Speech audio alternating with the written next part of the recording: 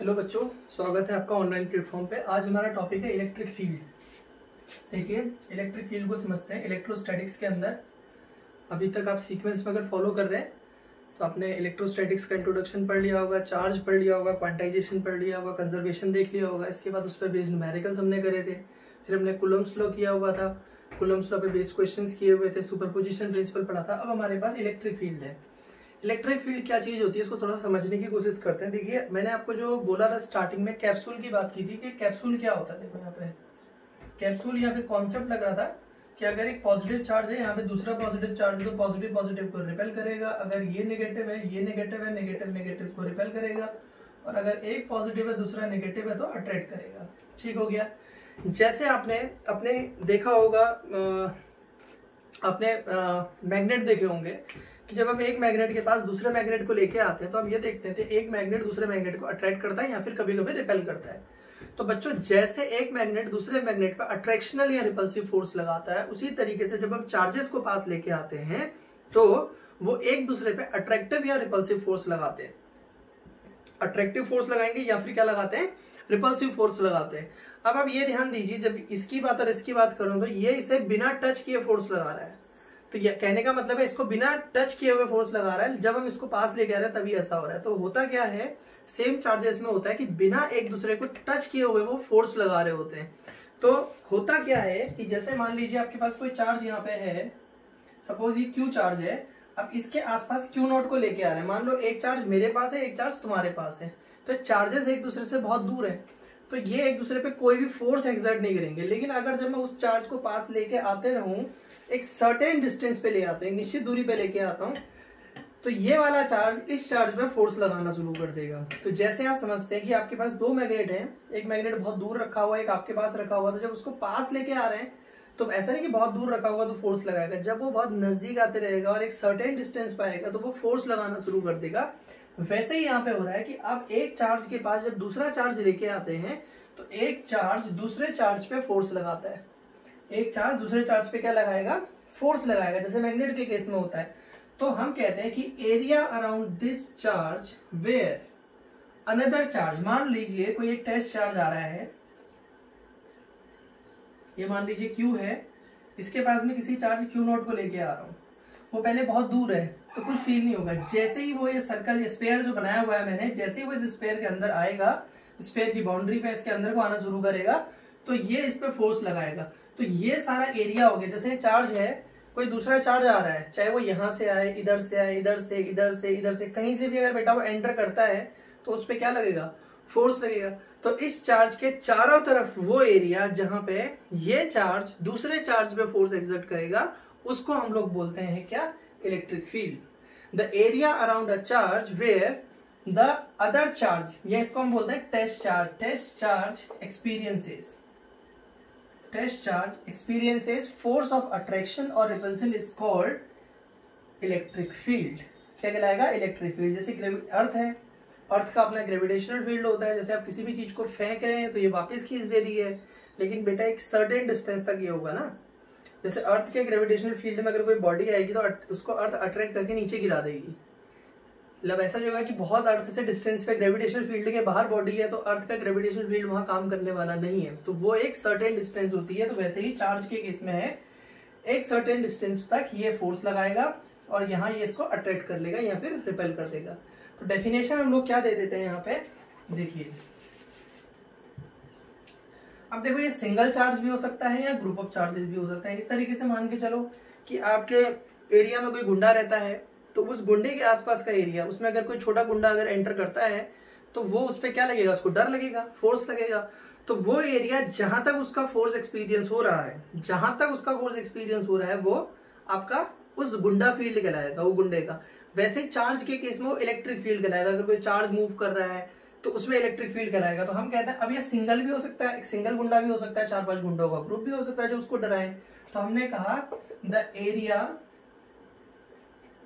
around a charge or group of charges where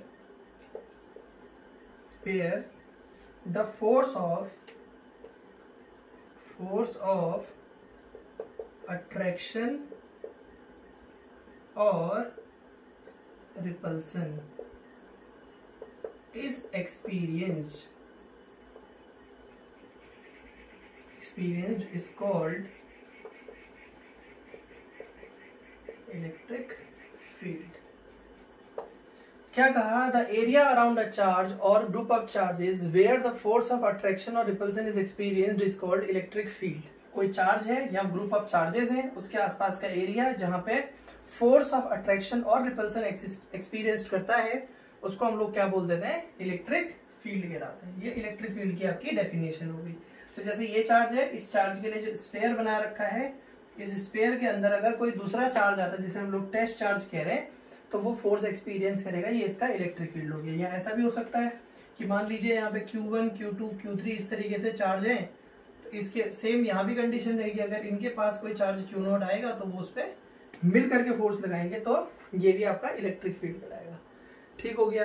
अब आगे बढ़ते हैं इसमें आगे को। इलेक्ट्रिक फ़ील्ड के साथ अब होता है एक टॉपिक है हमारा electric field intensity electric field intensity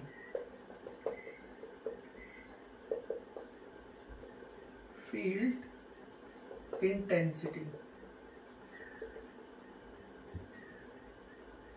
सबसे पहले तो आप इंटेंसिटी को कैसे डिफाइन करते हैं? आप ये समझिए कि आप सबसे पहले इंटेंसिटी को कैसे डिफाइन करते हैं? इंटेंसिटी का मतलब हो गया कि अगर आपके पास यही हाथ है, इस हाथ से आप एक बार हल्के से थप्पड़ मारो सेम एरिया रहेगा सेम सारी चीज़ें रहेंगी और एक बार तेज़ी से मारो। तो जब आप तेज़ी से मार रहे हैं तो वो थप्पड़ की इंटेंसिटी ज़्यादा है। तो इंटेंसिटी का मतलब हो गया कि किसी यूनिट चीज़ में से या किसी सेम चीज़ में से निकलने वाला अमाउंट दो बल्ब ले लो आप। मान लो एक नॉर्मल बल्ब ले लो, एक एलईडी ले लो या आप लोग एलईडी बल्ब ले लो। तो ऑब्वियस सी बात है एलईडी बल्ब से लाइट ज़्यादा आएगी, इससे लाइट कम होगी अगर सेम साइज़ सब कुछ सेम है सेम सप्लाई दिया सब कुछ सेम किया। तो दोनों से लाइट अलग अलग निकलेगी। तो जिससे लाइट ज़्यादा निकल रही है, वो उसकी इंटेंसिटी ज़्यादा है। जिससे लाइट कम निकल रही है, उसकी इंटेंसिटी कम है। अब इसी तरीके से अगर हम जब चार्जेस को डिफाइन करने की बात करेंगे, अगर हम चार्जेस को डिफाइन करने की बात करते हैं तो अगर मान लो दो चार्ज हैं, एक चार्ज वीक है, एक स्ट्रांग है तो अगर एक वीक चार्ज के पास आप लेके आते हैं, मान लो एक चार्ज क्यू है, एक फाइव क्यू है, एक क्यू है, एक फाइव क्यू है तो क्यू के पास अगर आप किसी को लेके आओगे तो उस पर फोर्स कम लगेगा। फाइव क्यू वाला फोर्स क्या लगाएगा? आपका ज़्यादा लगाएगा। तो बेसिकली इलेक्ट्रिक फ़ील्ड इंटेंसिटी क्या है? देखो, मैंने आपको स्टार्टिंग में भी जब पढ़ाया था, मैंने बोला था कि हम लोग अट्रैक्शन या रिपल्सन को देख रहे हैं। तो इलेक्ट्रिक फ़ील्ड इंटेंसिटी क्या होती है? देखिए, कोई चार्ज है, उसके पास आप कोई दूसरे चार्ज को लेके आ रहे हैं। सपोज़ आप क्यू नॉट को लेके आ रहे हैं।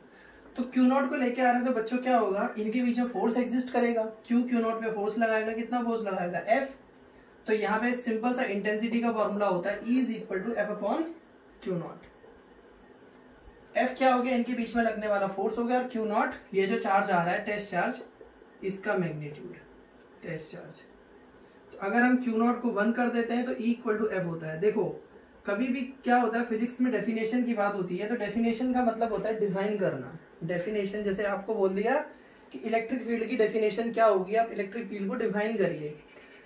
तो डिफाइन करने का मतलब क्या होता है बच्चों? एक बार समझ लो, आप सारी डेफिनेशन को दे देंगे तो डिफाइन करने का मतलब क्या होता है? किसी को किसी के टर्म्स में डिफाइन करते हैं। जैसे मान लो, अगर हमारे पास मोबाइल नियम कहीं शादी में चले गए, और किसी ने हमें बोला कि यार, मान लो, किसी को, जैसे मान लीजिए, उसने मेरे भाई को डिफाइन करने के लिए बोला मुझे, या किसी और को डिफाइन करने के लिए बोला तो हम कहते नहीं, यार, वो सलमान खान की तरह लगता है, वो शाहरुख खान की तरह लगता है, या उसने कहा, वो क्रिस गेल जैसा दिखता है। तो हम किसी के टर्म्स में, किसी अननोन पर्सनैलिटी को नोन पर्सनैलिटी के टर्म्स में डिफाइन कर दे। जैसे मान लो, मैं शादी में जाता हूँ, शादी में जाता हूँ, मान लो, मेरे मौसी की लड़की है, उनकी शादी होनी है, ठीक है? अब मेरे पास फ़ोटो नहीं है मेरे मोबाइल के कैमरे में तो मुझे उनकी वहाँ पे शादी होनी है। तो कोई बढ़िया सा लड़का है उन्होंने मुझसे पूछा डिफाइन करो मौसी की लड़की। तो मैं मौसी की लड़की कैसे डिफाइन करूँगा? हो सकता है मैं बोल दू, मेरी मौसी की लड़की कटरीना जैसी दिखती है। अगर कटरीना जैसी लंबी होगी खूबसूरत सी होगी तो मैं कटरीना जैसी बोल दूँगा हाइट में छोटी होगी तो मैं आलिया जैसी बोल दूँगा। तो मैं डिफाइन किसकी तरह करूँगा? मेरी मौसी की लड़की अननोन है, उसको नॉन पर्सनैलिटी के टर्म्स में डिफाइन करते हैं। तो वैसे ही फिजिक्स में डेफिनेशन जब हम बात करते हैं तो किसी अननोन टर्म को, जो न्यू टर्म हमारे लिए रहेगा new term is always unknown term तो हमारे पास अभी इलेक्ट्रिक फ़ील्ड आया है इलेक्ट्रिक फ़ील्ड को डिफाइन करना है दिस इज़ अननोन टर्म तो मैं इसको नॉन टर्म के टर्म्स में डिफाइन करूँगा तो इस तरीके से आप किसी भी डेफिनेशन को, किसी को भी डिफाइन कर सकते हैं, देखिए कैसे। जैसे आपने बोला equal to F upon Q not तो जैसे मैं बोलूँ कि अच्छा मेरी मौसी की लड़की जैसे मान लो ऐसे गाँव में रहती है तो दिखने में सुंदर है, लेकिन वो चाह रहे हैं कि भाई थोड़ा सा मॉडर्न टाइप की लड़की तो मैं बोलूँगा कि अच्छा चलो एक काम करो, थोड़ा सा मेकअप वेकअप कर लो तो मेरी मौसी की लड़की भी कटरीना लगेगी। तो कहना क्या चाह रहा हूँ मैं? If Q not equal to one मतलब मेरी मौसी की लड़की अगर मेकअप कर ले तो वो क्या लगेगी? कटरीना लगेगी। Means if Q not is equal to one if test charge is unit then the force is equal to electric field the force experienced by unit charge is called electric field तो मैंने define कर दिया electric field को। मैं कह रहा हूँ, भाई इलेक्ट्रिक फ़ील्ड कुछ नहीं होता है। Electric field is simply force कौन सा force the force experience by unit charge is called electric field तो यहाँ पे क्या हो जाएगी डेफिनेशन देखो डेफिनेशन में डिफाइन कर दिया। The force experienced by by unit test charge is called electric field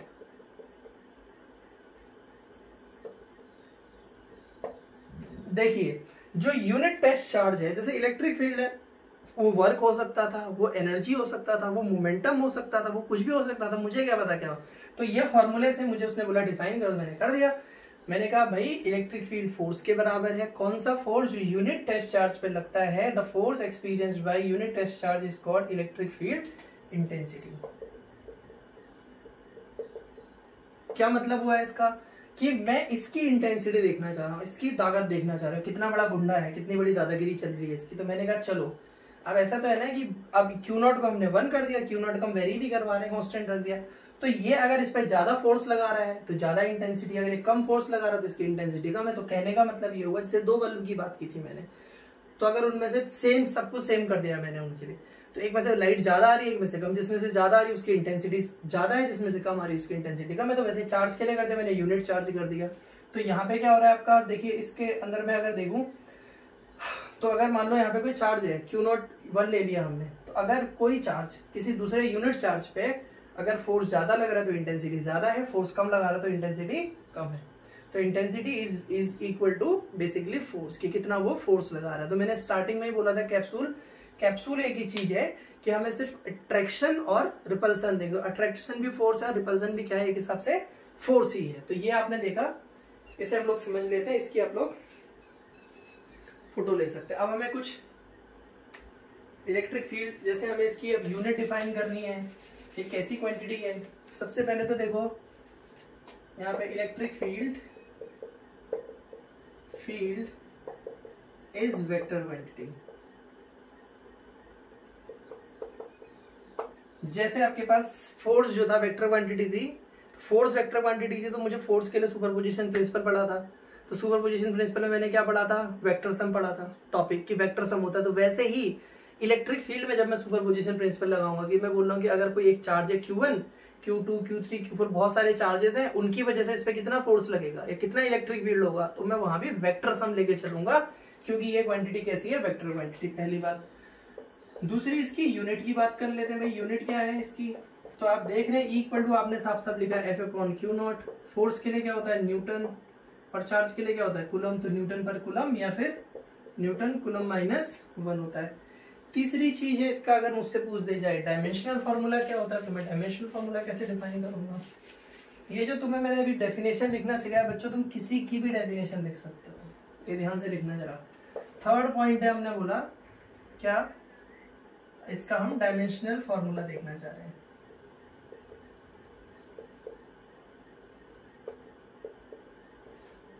dimensional formula क्या हो जाएगा? देखो इसका।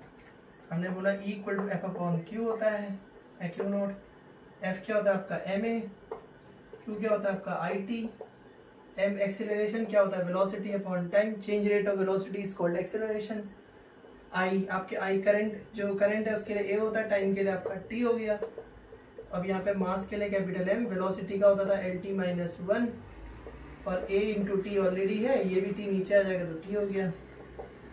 तो M L T minus one है टी टी टू हो गया, ऊपर जाएगा तो टी माइनस टू ऊपर चला गया और यहाँ पे ए माइनस वन हो गया। तो M L T minus three A minus one तो ये आपकी इलेक्ट्रिक फ़ील्ड के लिए वैल्यू हो गई। ये आपका इलेक्ट्रिक फ़ील्ड का डायमेंशनल फॉर्मूला होगा तो अगर यू पूछे वेक्टर क्वांटिटी है, फिर हमने इसकी यूनिट देख ली और हमने इसका डायमेंशनल फॉर्मूला भी देख लिया। अब हम बात करते हैं electric field due to a point charge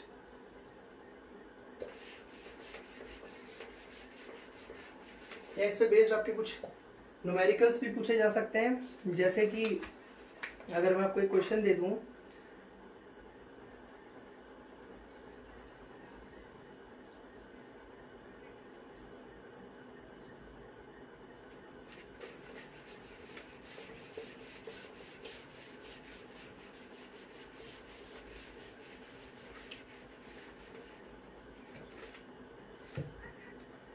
चलिए, पहले हम देख लेते हैं।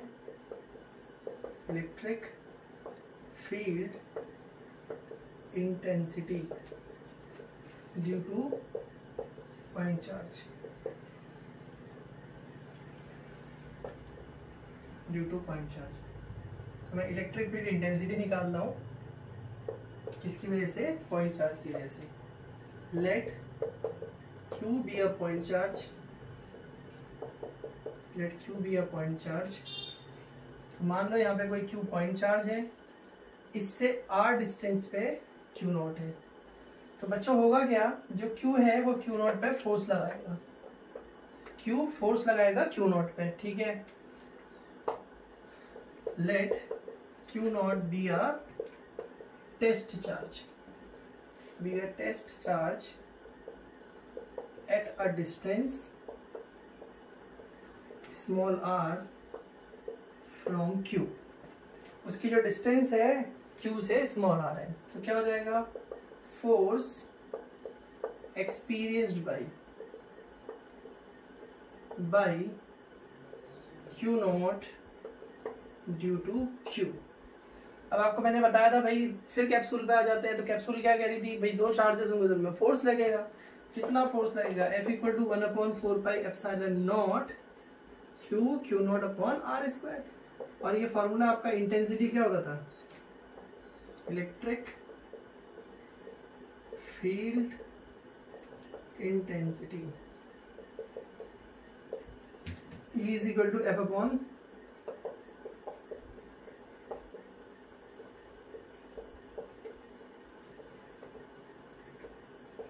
तो ये हो गया आपका one upon four pi epsilon not Q upon R square तो आपका फॉर्मूला निकल के आ गया E is equal to one upon four pi epsilon not Q upon R square अगर यहाँ भी देखो मीडियम अगर चेंज कर दूँ एप्सिलॉन आ जाएगा मीडियम अगर इनके बीच का चेंज हो जाएगा तो इलेक्ट्रिक फ़ील्ड भी चेंज हो जाएगा। इसको लिखिए, इसको अभी वेक्टर फॉर्म में भी हम लोग लिख सकते हैं। पहले इसका इसका आप स्क्रीनशॉट ले लो, उसके बाद मैं इसको वेक्टर फॉर्म में भी लिख देता हूँ।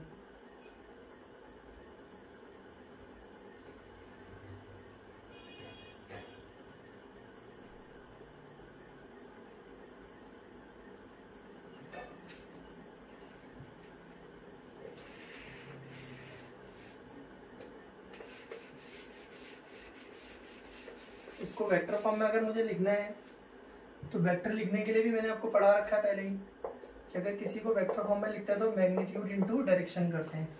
तो ये आर है आर की डायरेक्शन क्या होगी? आर कैप तो ई की वैल्यू है one by four by epsilon not Q upon R square और यहाँ पे हो जाएगा आर कैप ये आपकी वेक्टर फॉर्म हो सकती है। इसी को अगर आप और लिखना चाहते हैं तो क्या होगा? R vector is equal to R into R cap R cap क्या होगा? आर वेक्टर अपॉन आर हो जाएगा। यहाँ पे E vector is equal to one upon four by epsilon not Q upon R square और into R vector upon R हो गया। तो one upon four by epsilon not Q upon R cube R आप इसको vector form में लिखना चाहें vector quantity है तो ऑब्वियस ही बात है हम इसको वेक्टर फॉर्म में लिख सकते हैं और इस तरीके से होगा। अब देखो आ, हमने इलेक्ट्रिक फ़ील्ड को देखा। इलेक्ट्रिक फ़ील्ड क्या था? इलेक्ट्रिक फ़ील्ड देखा कि भाई कोई चार्ज है उसके आसपास अगर कोई दूसरा चार्ज आ रहा है तो वो फोर्स एक्सपीरियंस करेगा। जितने रीजन तक वो फोर्स एक्सपीरियंस करेगा वो इलेक्ट्रिक फ़ील्ड कराएगा फिर हमने देखा इलेक्ट्रिक फ़ील्ड इंटेंसिटी को देखा। इलेक्ट्रिक फ़ील्ड इंटेंसिटी क्या देखी हमने? कि अगर चार्ज आ रहा है फोर्स लग रहा है तो अगर यूनिट चार्ज पे जो लगने वाला फोर्स है उसको इंटेंसिटी बोला था। Equal to F upon Q not लिखा था मैंने। मैं और भी डेफिनेशन आपको लिखना सिखाऊँगा भी बाद में। फिर उसके बाद आपने देखा कि भाई अगर पॉइंट चार्ज है तो अगर क्यू है, इधर क्यू नॉट है तो क्यू और क्यू नॉट के बीच में फोर्स लगेगा कुलॉम्स लॉ के हिसाब से। तो क्या फॉर्मूला होता है? One upon four pi epsilon not Q Q not upon R square हो गया। फिर इंटेंसिटी का फॉर्मूला था equal to F upon Q not उसको लगाया तो वैल्यू निकल के आ गई आपकी ये।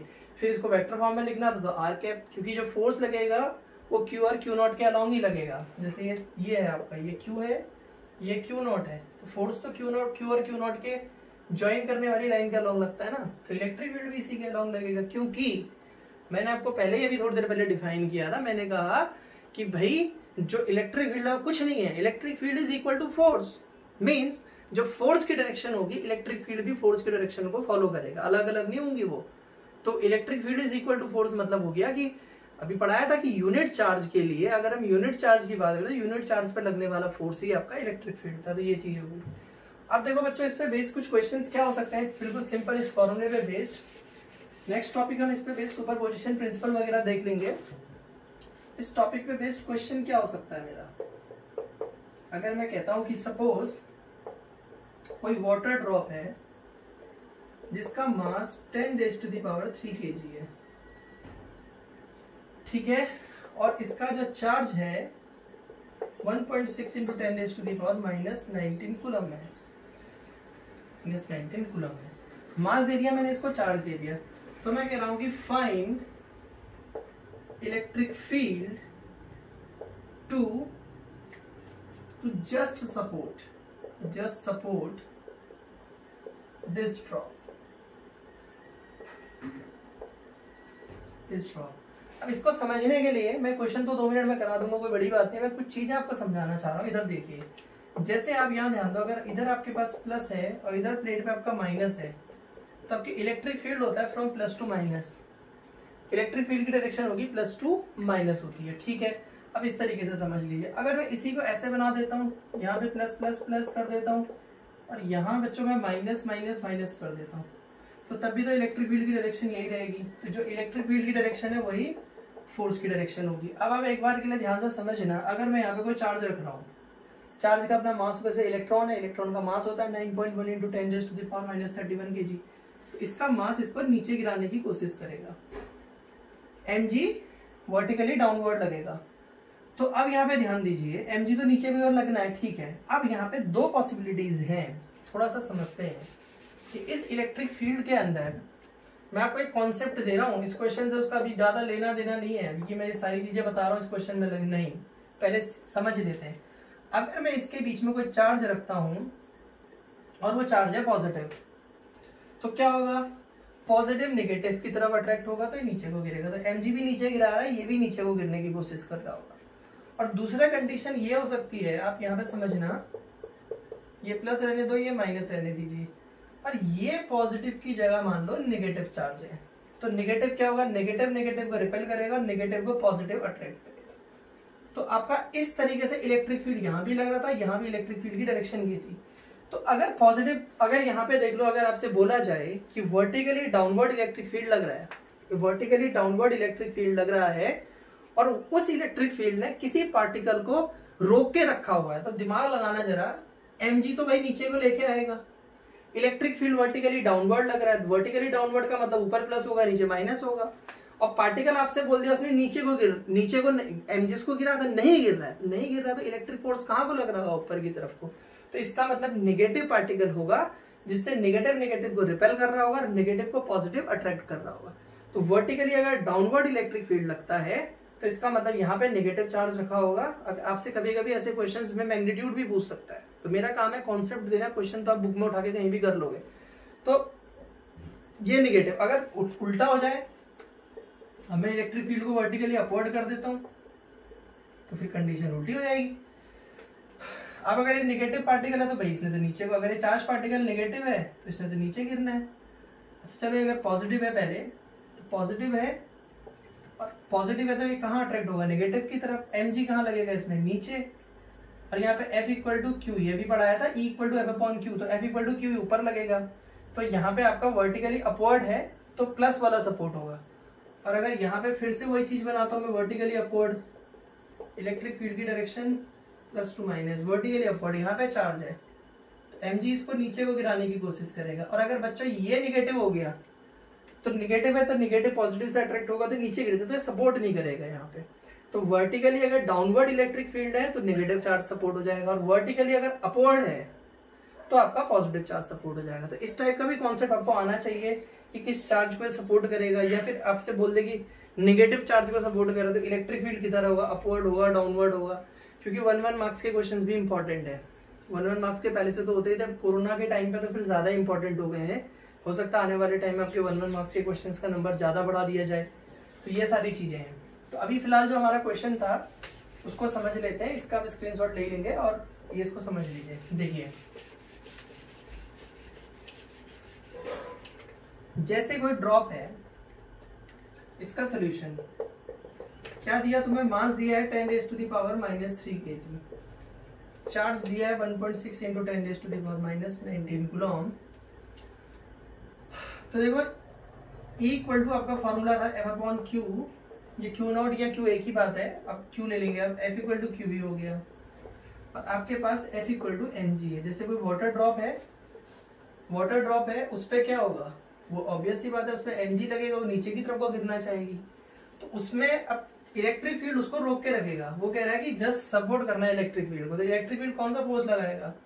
F equal to Q electric field force लगाएगा एफ़ इक्वल टू क्यू और F equal to M G होगा। तो ये दोनों फोर्स आपस में क्या होंगे? इक्वेट कर देंगे हम लोग। तो क्यू ई किसके इक्वल हो गया?